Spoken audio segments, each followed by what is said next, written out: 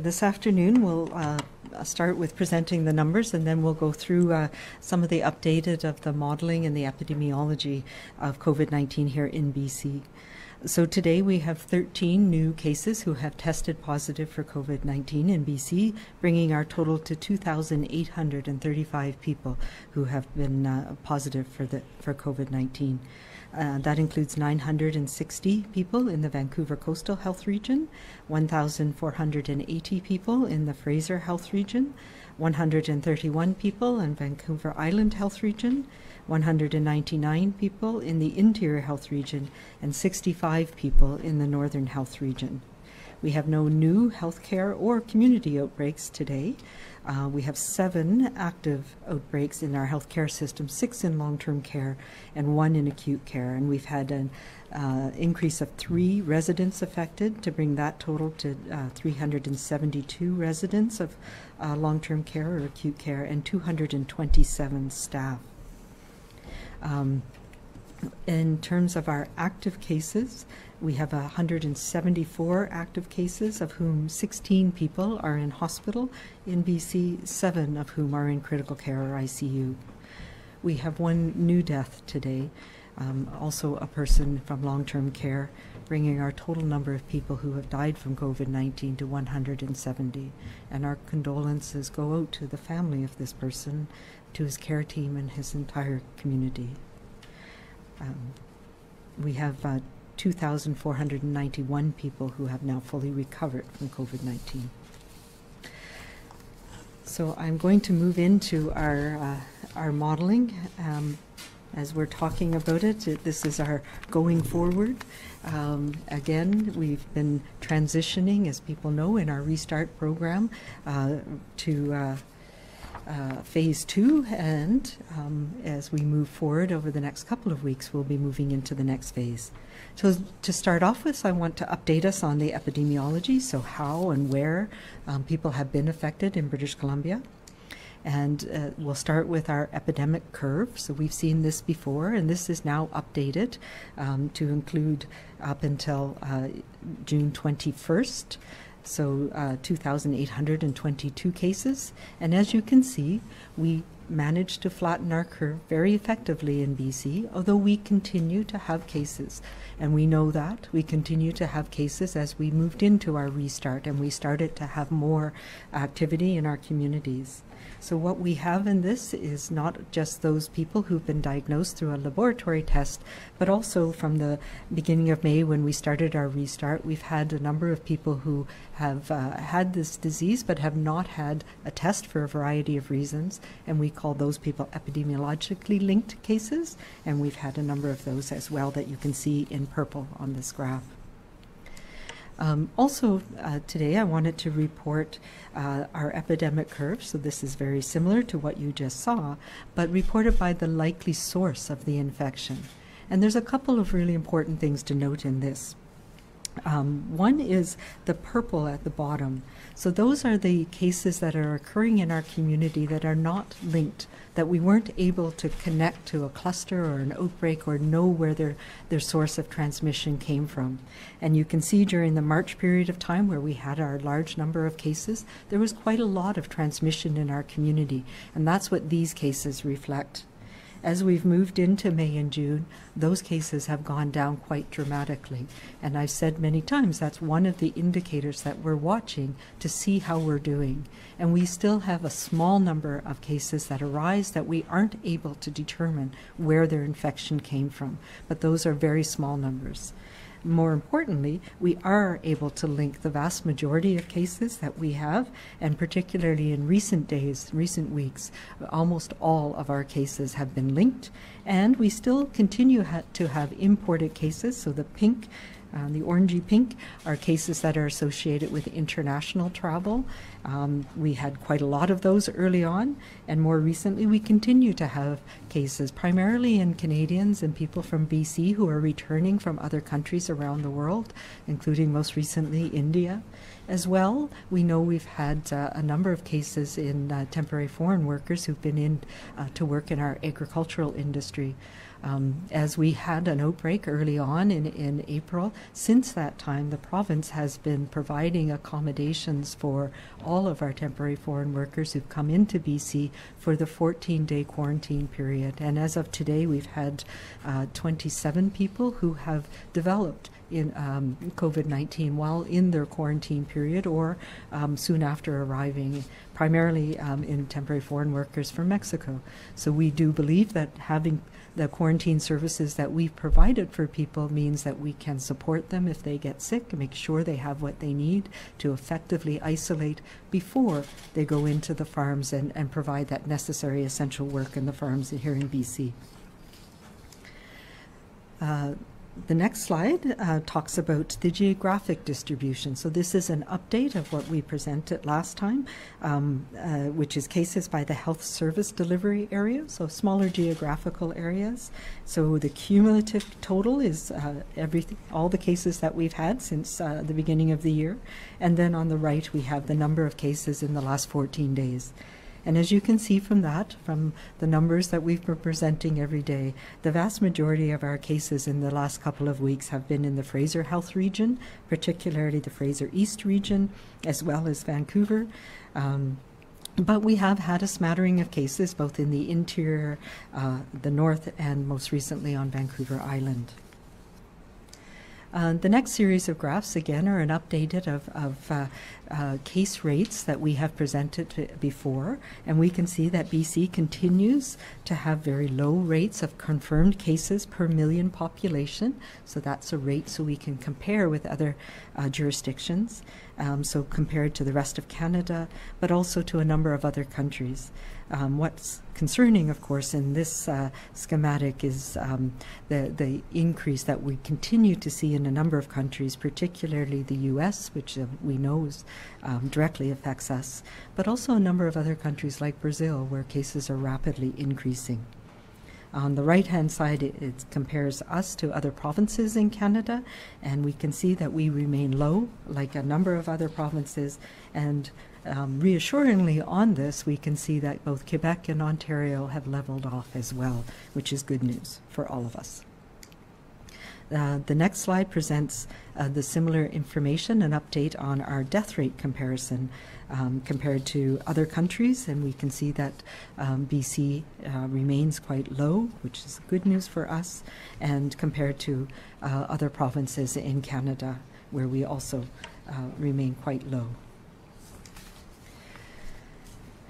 Uh, one of the things that uh, I wanted to talk about today uh, was uh, some of the new things that we're doing in our community, and one of these is a is a fascinating project that's being uh, worked on at the the Public Health Lab at the BC Centre for Disease Control, where we have some expertise in in assessing water samples for uh, communicable diseases, and they are working um, to develop a way to be able to monitor wastewater across the province as an indicator of when the virus may be in our communities. And this is something that we've seen in a number of other countries around the world. Uh, uh, the Netherlands had started a program, Finland and Germany, and recently Italy has reported out on uh, the, some of the sampling that they did retrospectively, which showed that they were able to find COVID uh, RNA, so the genetic material from the virus, in uh, wastewater samples from December and January uh, of this year um, indicating that there must there was likely circulation in some parts of, of northern Italy prior to it being recognized in the community. So this is a project that we're working with uh, other groups across the country, um, but right now in developing the methodology, there's been testing of wastewater in the Vancouver uh, facility, which covers some parts of, of Surrey as well. Um, and for the last five weeks, uh, there has been testing done, and we have had no positives, which reflects the low level of transmission that we are seeing in communities right now. Um, so this is something that we're planning on rolling out and using in the coming months, particularly in smaller communities as a way of helping us understand if there's been transmission in that community. And this is building on work that's been done around the world to help monitor for polio, which is also a, a viral infection that's shed in, in stool and into wastewater. So more to come on that as, as these uh, um, as these projects roll out. Finally, I want to talk about uh, some of our modeling and analysis and the things that we've been doing and where we are in terms of, of um, the impact of the Restart program here in BC. So this is again an update of some of the mobility patterns that we've been following over time in British Columbia. And we can see that we are gradually returning slowly and carefully uh, to more activities in our community, um, that we're spending less time always at home and more time in places like workspaces, retail, recreation spaces. spaces. Um, and that's uh, what we expect as we've moved into this new stage. Um, so the mobility metrics are generally increasing, but they are re remain lower than the seasonal norms based on data from uh, previous years. This is an update as well of the dynamic compartmental modeling that uh, we have been doing. And as you can see, we've moved along along the trajectory of this. And it uses things like the mobility data, like some of the network analysis that we have uh, in the province to help us get an understanding of what could happen if we uh, continue along the trajectory that we are. So right now, the model suggests that we are uh, had a slight increase in new cases, which we have seen, and that our contact rates, so the rates of, of activity, mobility, and contacts have gone up to somewhere around 65% of normal. So you recall when we first presented this information, when we put in the public health measures that um, had people mostly staying at home, staying apart, not going into uh, most retail workplaces, we were down around 30% of our usual contacts. As we've started uh, the restart, we moved up to somewhere around 40%, and we're now somewhere around 60, 65%. And I'm intentionally saying that is not uh, unexact.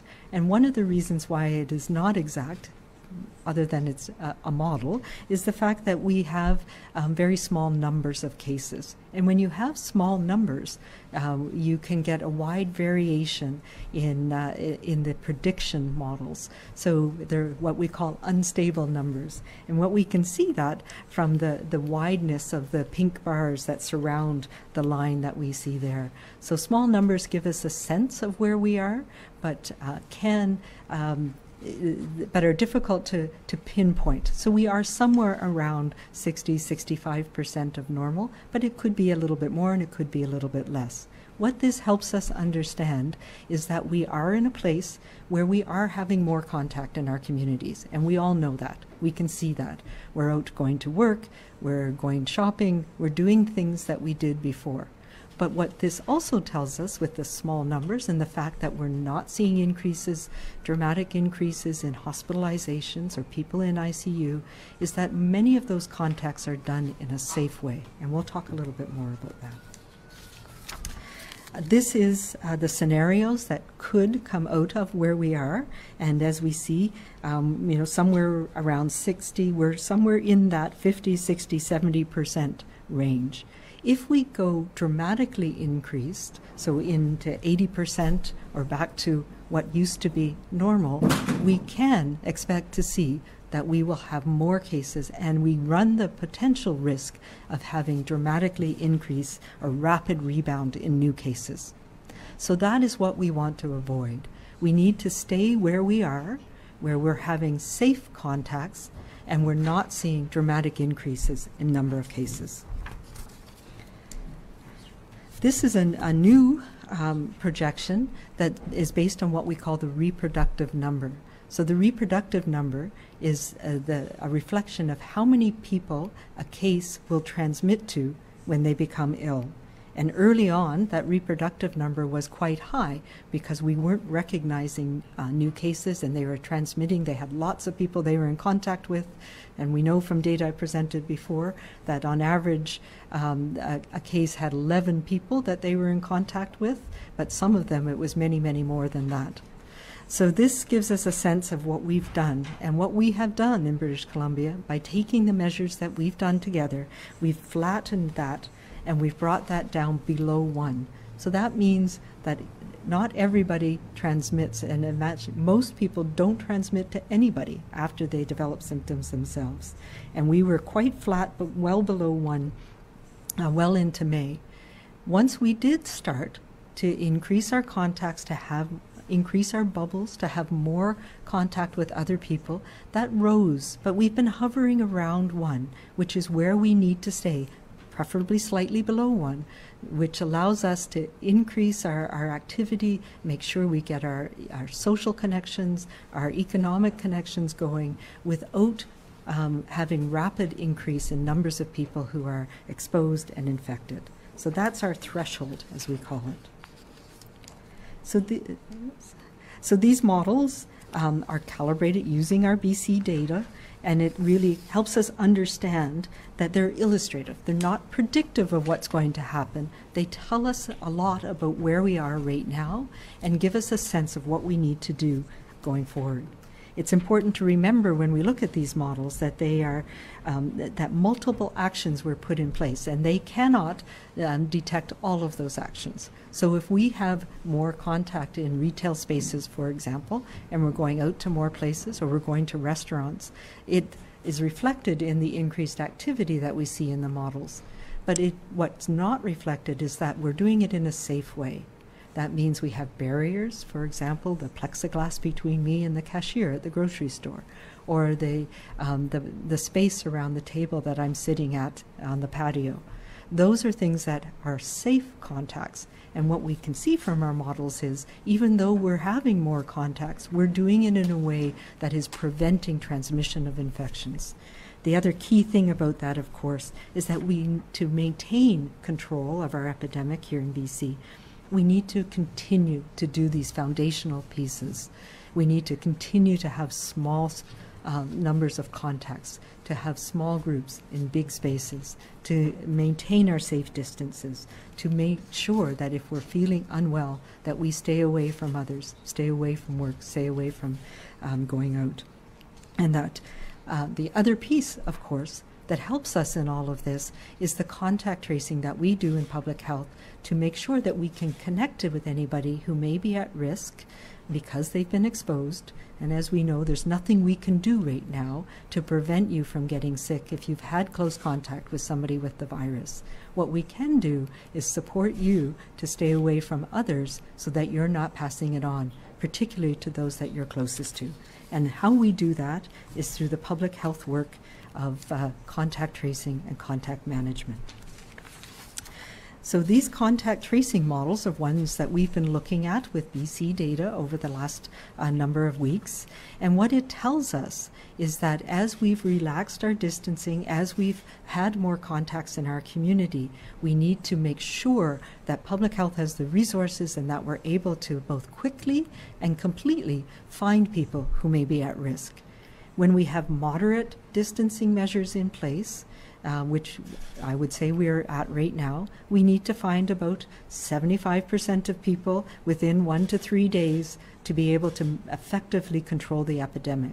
As we're moving into our next phase, where we know we're going to have more activity, where we know um, that we're going to be moving more, we need to continue to be able to effectively find people. And our, our dilemma is that we have to find that balance because we need to find um, more complete contact tracing within a shorter frame of time. So we need to find everybody within a few days. And we are good at that. We've shown the data from BC where we have um, effectively found 97 to 99% of contacts within 48 hours after a case is identified. So these are the scenarios that we're working towards now, making sure that we all do our part which means making sure that uh, that we are keeping our bubbles small, but also that we know the people that we're with. These are why some of the measures that we have in place to make sure that we have a contact information for people. That if I'm going to a, a church meeting, that I have a, a, ability to identify who's been at that meeting, so that if somebody does inadvertently come in with symptoms and we find them in public health, we're able to connect with people quickly and prevent transmission. So this is our our conclusions. As we've relaxed distancing measures, the strong contact tracing in BC has provided a buffer against renewed growth of cases.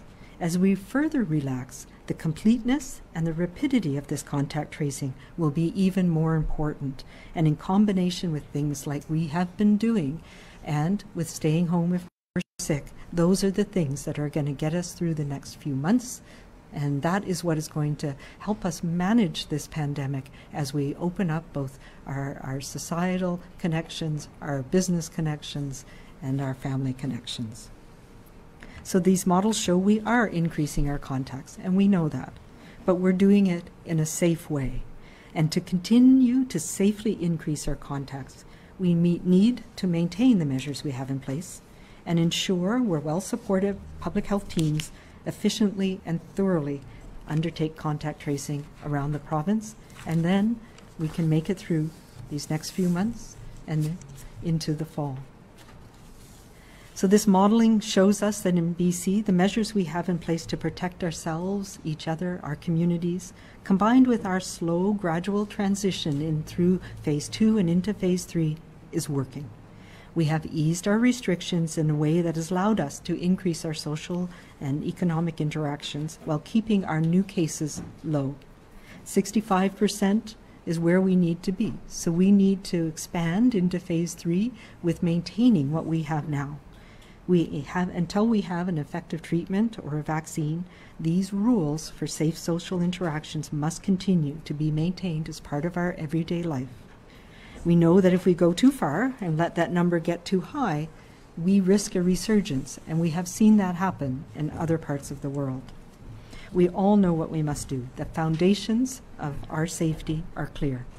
Always stay home if you're ill. Always follow good hand hygiene. Always maintain a safe distance when you can and use barriers to protect us when we need to be in within that safe distance. A non medical mask is also part of what we can do when we can't always consistently maintain a safe distance. As individuals, we also have an important role to play in contact tracing. It is, in public health, a team effort or a team sport that all of us need to be committed to to be successful. Our responsibility is to keep our bubbles small. Know the people that we are with, that we have those, those um, close contacts over time with. This, give public, this gives public health teams the ability to notify everybody who may be at risk and contain the spread as quickly as possible. So, this approach applies to all of us, no matter where we may be, whether it's at home, at work, in our community, or traveling to other parts of British Columbia or Canada. We know that closed spaces, large crowds, contact, close contact with people over time are the things that are riskier, and we need to do those with caution. So be respectful and understanding of others. That has what has got us this far in British Columbia. And we need to continue together to do our part to protect our province, our community, our elders, and our families. Let's continue to find that balance and to maintain that balance as a community as we chart our path forward. And let's all do it, of course, by being kind with each other, being calm, and being safe.